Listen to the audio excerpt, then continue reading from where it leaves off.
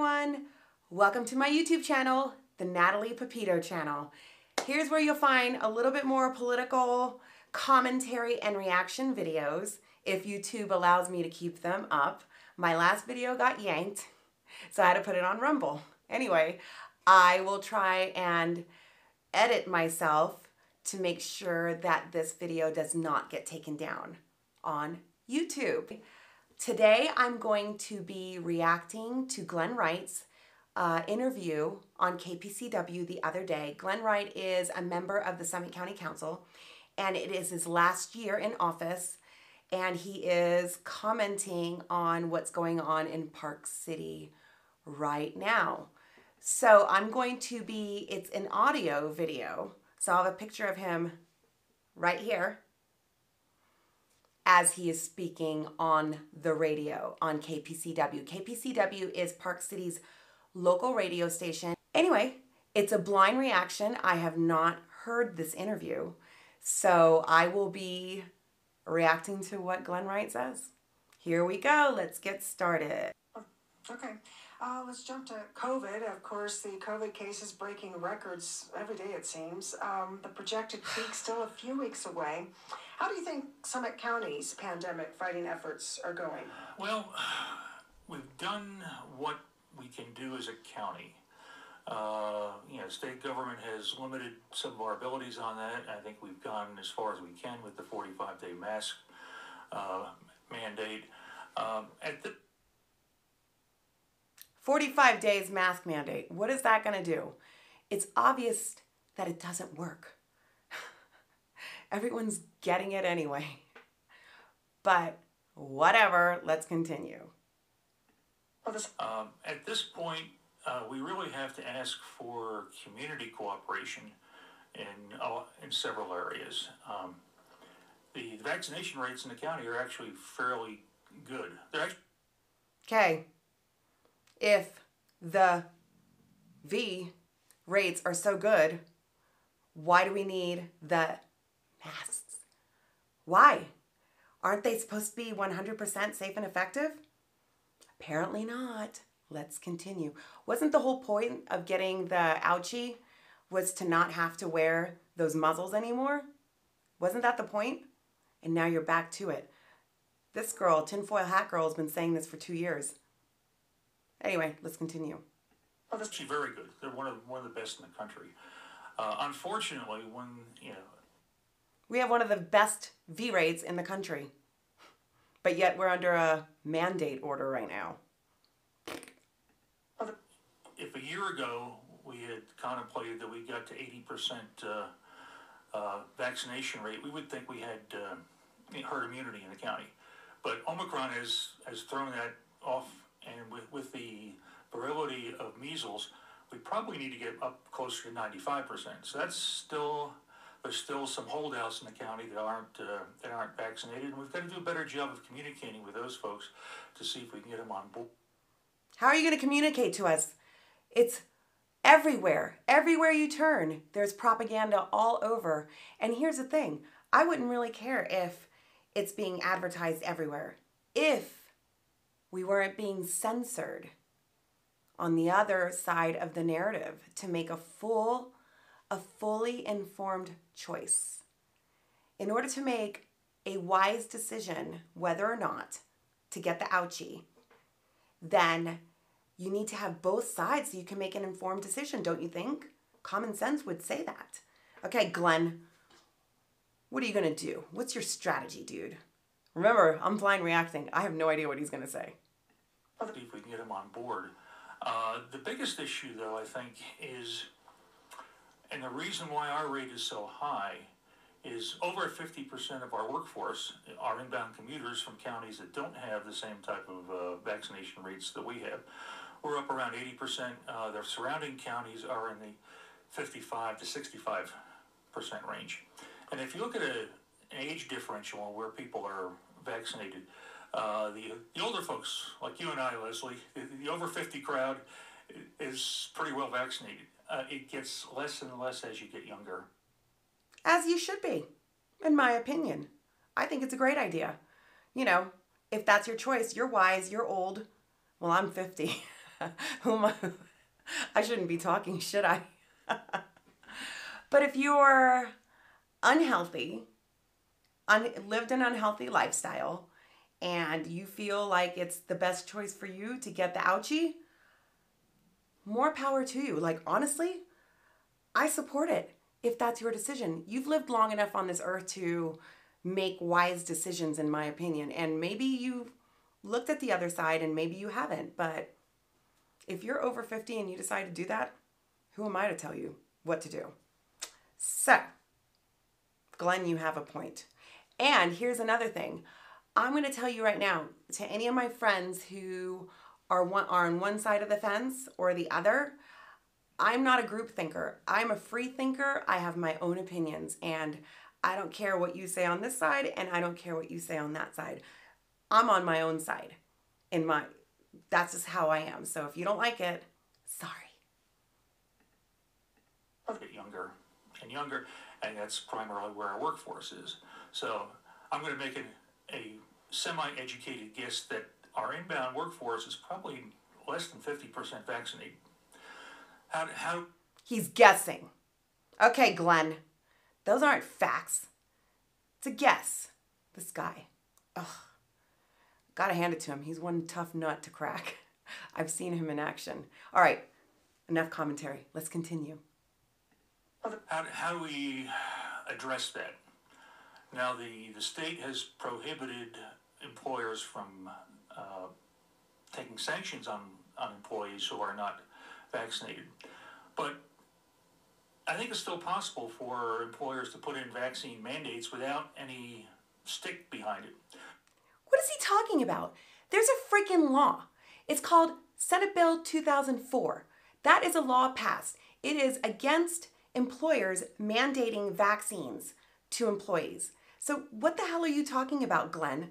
What are you trying to tell employees? Here's the thing this guy is not running for county seat anymore. This is his last year. Like, he's done after this year, he's retiring. And now he is trying to pressure small businesses to be enforcers. What happens if they go and try and pull this crap when there's a law in place and they mess with the wrong employee and now that employee sues that small businesses and wins because they tried to listen to this freaking asshat. So he's just spewing bullshit and putting it on the small business to become a government enforcer. And if they mess with the wrong employee and they sue them, they've got grounds to win. Do you see? Okay, wake up, people. Do you see? Let's continue. And talking to Mike Goar at Vail, uh, they, they've done that. And he tells me that they're over 90% vaccinated amongst their, their crew, even with the fact that they can't discipline people. You know why? Because they enacted that policy before the bill was signed into law. The bill that was signed into law, Senate Bill 2004, was signed into law by Governor Cox on November the 16th. They were hiring well before that. So the reason, Glenn, that they are 90% vaccinated employees is because they threatened their jobs. And these people were threatened with their job before November 16th to get the ouchie. So let's not get it twisted, Glenn. Tell the truth, Glenn. Let's continue. Discipline people or or release them for not being vaccinated. So that's that's something I think our our businesses can can do here. Oh, he um, still had a really difficult time though over the holidays. Oh, yeah. A lot of people out sick, Be- even vaccinated. I mean, they still. Yep. No shit, Sherlock. Why are you pushing the ouchie when everyone's getting it anyway? Oh my god. You know what? I can't even. It doesn't make sense. It is a clown world that we're living in. oh, but maybe if I. It's just milder symptoms. Okay, says who? Says the news? Let's keep going. This is fun. Well, this they still. Yep, absolutely. That's I, I. I think the, the benefit though of being vaccinated is people are coming back sooner. So hopefully that will, yeah, uh, they'll, they'll get their employees back back sooner. We've seen that in the county also, not in terms of return to service, but I think you know we've certainly have people out sick. Uh, but I think our rates are lower than the count. In. Is this fact or is it opinion? It's opinion. Where are the studies, Glenn? Tell me. God, this guy is too much. I can't even. Oh my gosh. Uh, okay, let's continue. The count in the county workforce in general. So I, I think that's very important. I, I think the other thing that uh, our commercial businesses can do is they need to think about voluntarily uh, asking for vaccinations uh, for entry to uh, businesses like theaters, bars, restaurants. Are you on crack? This guy, he's a freaking psychopath. Oh my gosh. And he's a hypocrite. he, at the Dakota Pacific uh, County Council meeting, where there was like hundreds and hundreds of people there, he was unmasked. Unmasked. Of course, there wasn't a mandate in place, but they had specifically asked for everyone to wear a mask since we were going to be in such close quarters, correct? That guy, this guy right here, he wasn't wearing a mask. And I took note of that and I was like, hmm, hmm, don't practice what you preach, do ya?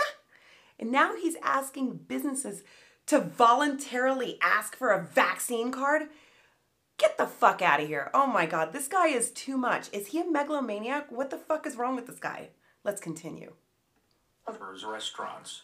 Uh, we can't mandate that. The state has prohibited us from mandating that. No shit. But that's something we, we can do uh, as a community. Uh, because you know the other part of the you know the, the, the I think the big part of the, the Omicron surge in the county was inbound tourists uh, coming from states that have much lower vaccination rates than, Yeah. than we do. So, um, how aggressive should the He thinks. I think this. I think that. No. Everyone's getting it. It's a global thing. Everyone is getting the moronic variant right now. And guess what? Everyone's okay. There are your people that like in normal times and in since the beginning of time that have died of a simple cold that turned into something else. But now, when you name it and you throw it out there everywhere you see, of course it's going to freak people out. But if you just stop doing this and start just kind of looking around you and just see what's going on here, you'll see the truth. I'll probably have to put this on Rumble. Shit. how aggressive should the county be in enforcing the, the mask mandate? Uh, we're pretty much doing it on a complaint basis only. So if someone comes to us and says this, this particular company is not doing a good job, we're going to go out and visit them.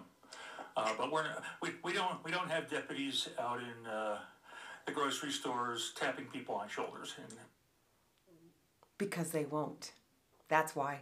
Because it's moronic and it's stupid and it's unconstitutional and it's dumb and it's overreach of power. And of course, that's why they're not doing it. Don't get it twisted. People stop being afraid and stop listening to these bureaucrats. I'm not going to listen to him. Does he drink? Does he take prescription drugs? I don't know. But I know how I live. And I'm not going to listen to that when he is strictly on the radical left narrative path. He refuses to see any other way. And I know this for a fact because he called my friends hooligans at a council meeting, but never said a word to the crazy person that was screaming at m- one of my friends at a council meeting. He let him scream at him and when my friend tried to rebut, he called him a, a hooligan and told him to shut up. So he's on one side. This guy is not unbiased at all. Let's continue. on shoulders, and we're not planning on doing that. And what's the appropriate punishment then for those who just refuse to wear a mask? Uh, I've been told it's a, a citation, uh, like a something similar to a speeding ticket. Yeah. And then what about at schools? I mean, the county says that it's up to the schools to enforce the mandate, and their schools are saying they're doing the best they can, but we still get lots of reports of students and teachers not wearing masks. You know how they're getting these reports? The health director has been talking to KPCW and feeding them all the intel. And the school board superintendent, Jill Gildea, has been speaking with KPCW, giving them all the intel. So that's how they know the reports of what's going on. And I know this for a fact because I did a GRAMA request that took, I submitted it in November and I literally got it back this past Friday and I went through all the emails. So I know. Let's continue. So let's continue. But KPCW knows because Phil Bondurant has been speaking to KPCW but ignoring everybody else's emails. Right? Not doesn't even acknowledge anyone's emails, but he'll speak to the press. Let that sink in. Masks. Uh, we do indeed, and uh, as we get those uh, reports into the the county, um, you know, we have uh, sent our deputy uh, health uh, director out to schools in the past, and I expect we will again in the future. Yep, back uh, just a day or so ago, the New York Times reporting that Summit County in the top five for COVID per capita. So, should we continue to encourage tourism? Oh my gosh. First of all, the New York Times is a freaking trash rag. They suck. They're full of shit. So, okay, New York Times and should we what are they what is what are they trying to do? Are they trying to ruin the economy in Park City? Yeah, tourism is super annoying. Yes, it is, but you know what? For small businesses and for people to make a living here, you need tourism here. They are batshit crazy, I'm telling you. I keep telling you this. I've been telling you this. I've lost friends over this. Well, that's where I was coming from in terms of getting people to require vaccinations.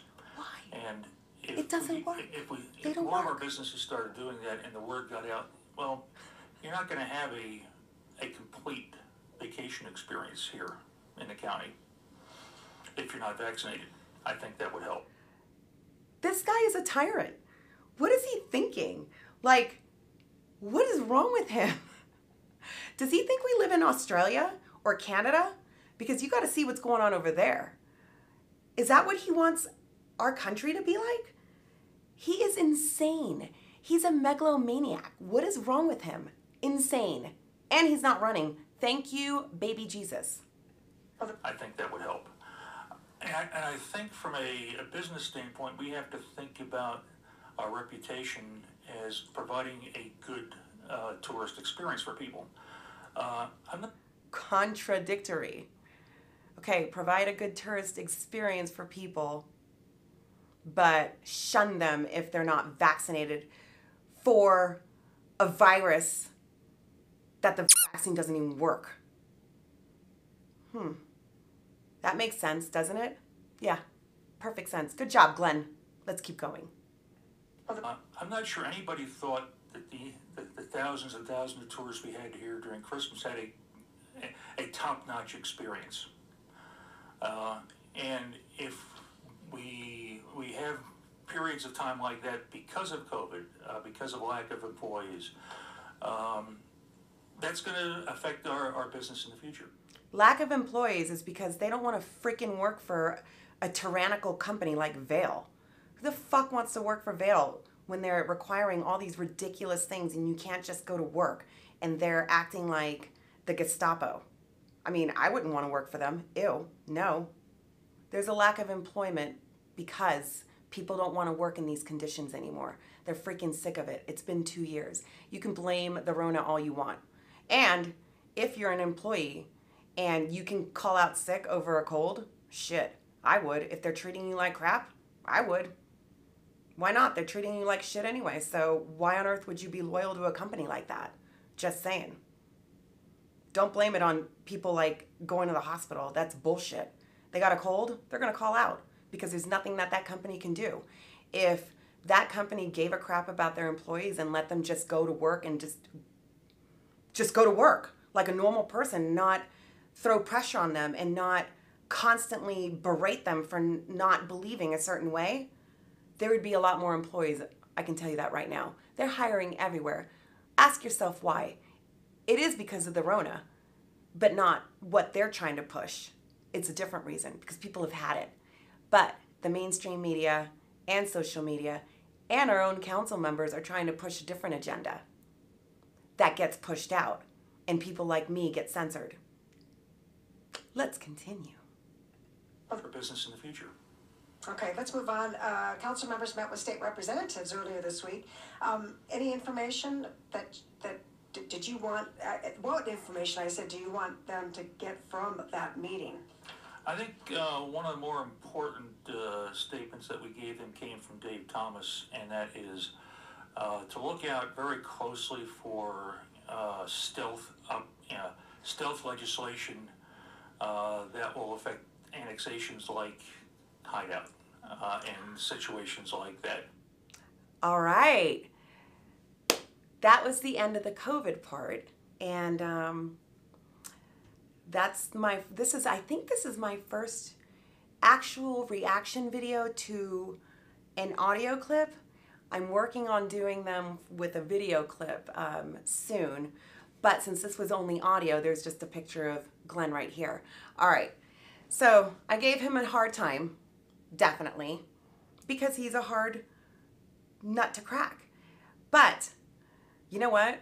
You got to hand it to him because he believes what he believes, he owns it, and you know what you're going to get with him. So I, as a person that is like that, but in a different point of view, you got to respect that. At least I do. I don't know. I like people that are straight up in your face, even though I hate what they're saying. He owns it. Gotta respect it, Glenn. Yeah, I'm hard on you, but you deserve it. and that will end this video. If you want more videos like this, comment down below. If this is on Rumble, comment down below. And I will definitely do more videos like this. I think they're fun and I want to get to do a video clip. So if you guys have any video clips to send me, send them text message, DM, PM, any kind of way, email, however you want to send me some clips that I that I can react to, I'll be happy to do it. This is Nathalie Pepito, and this is the Nathalie Pepito channel, or if it's on Rumble, I believe it's the Miss Nat channel. Anyway, happy Sunday Fun Day. See you later.